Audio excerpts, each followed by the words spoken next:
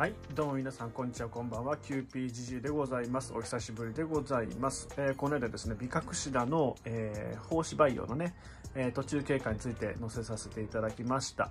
えー今回の動画は何かと言いますとですね、あの、まあ、最近ね、買ったもの、えーいただいたものなど、えちょっと最近ね、うちに来てくれた植物たちの紹介をしようかなと思ってます。えまずね、あの、こちらですね、もういきなり言いますよ。これね、いきなりき言いますよってなんだろうね。えーいきなり言いきますけども、えーこちらですね、えーロフォフォラですね。最近購入しました。なんと820円。ね。ロフォフォラ結構ゆっくり大きくなるタイプなのかもしれませんけれども、まあ、うちに来て今、だいたい1ヶ月経つかなっていうぐらいなところですね。えー久しぶりにこの子もね、登場させてます。えーロフォフォラ、結構、あのー他の方でね、大きく育てていらっしゃる方も見たことがあるんですけど、結構ね、うん、あのーケバケバした毛も可愛いし、フォルムも可愛いし、将来が楽しみな植物かなと思ってます。えー次ですね、もうどんどん行きましょうかね。はい。じゃあ、こちらですね。これはですね、いや、もう、大流行りですよね。もう大流行中の、えーもうわかりますね。ステファニア・ピエレイです。いやー、もう、結構ずっとね、欲しかったんですけど、ようやっと手に入れることができました、ステファニア・ピエレイ。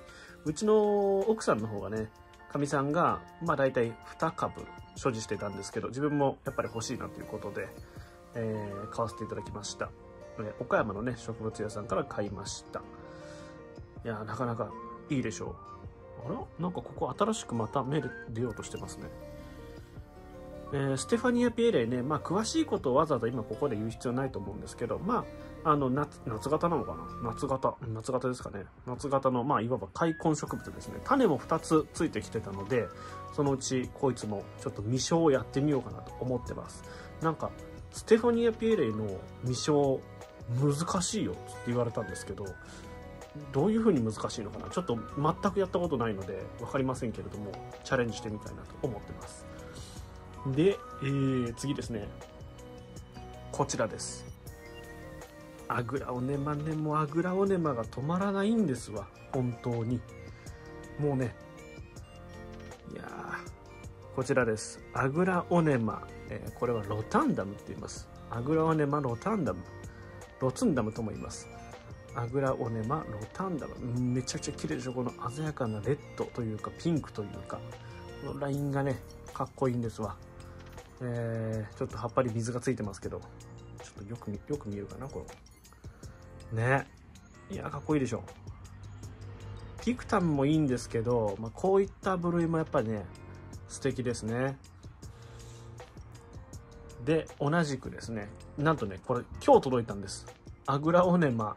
えーこれメルカリで購入させていただきました。パロットジャングルっていう品種らしいです。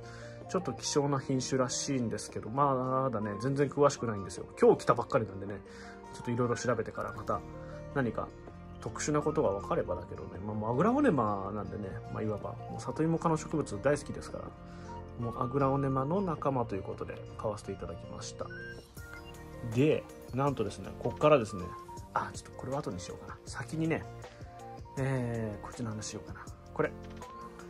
これねこちらはまあ分かる人は分かるかな。柄見たら分かりますね。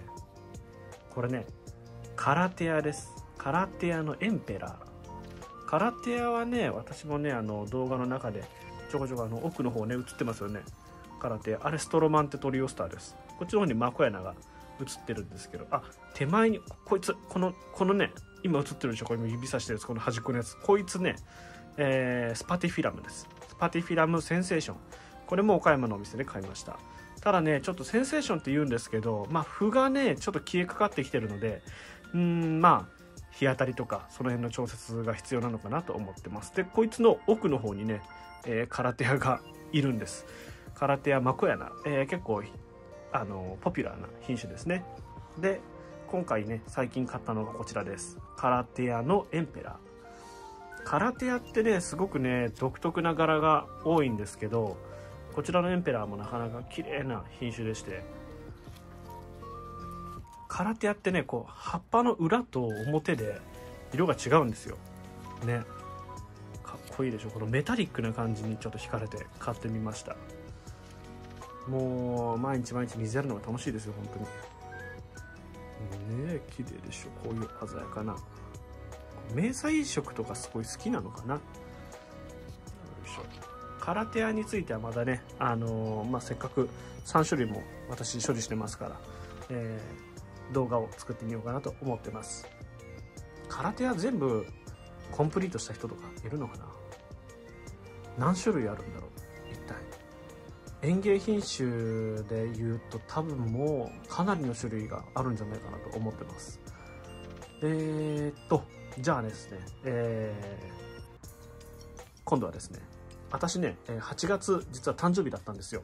あの誕生日にですねプレゼントいただきました。まずこちらですね Twitter の、えー、フォロワーさんからいただきました。カニの絵の絵の入った可愛らしい鉢。いやもう素晴らしいですね。もう焼きもしっかりしてあって鉢底穴もちゃんとあってこう通気性もね良さそうなんで非常にいい鉢だと思います。あの信楽焼きだって聞きました。すごいいい質感ですね。もうこれに何かしら多肉を植えるのが楽しみでね。何植えようかなってもうね今もうちょっと悩んでます。な何植えようなこれ。でえー、っと私のですね、えー、奥さんからですね、まあ、毎毎年何かしらあの、まあ、やっぱり誕生日いただくんですけれども大体草なんですよね。あの私が何が欲しいって言われたら大体草しか言わないのでね。えー、っと今回はですねよいしょ。今年の誕生日はですね、えー、なんと私ベゴニアベゴニアをですね、えー、いただきました。ちょっとベゴニアままだ全然ね本当に詳しくないのでなんならこれ今日来ましたからね。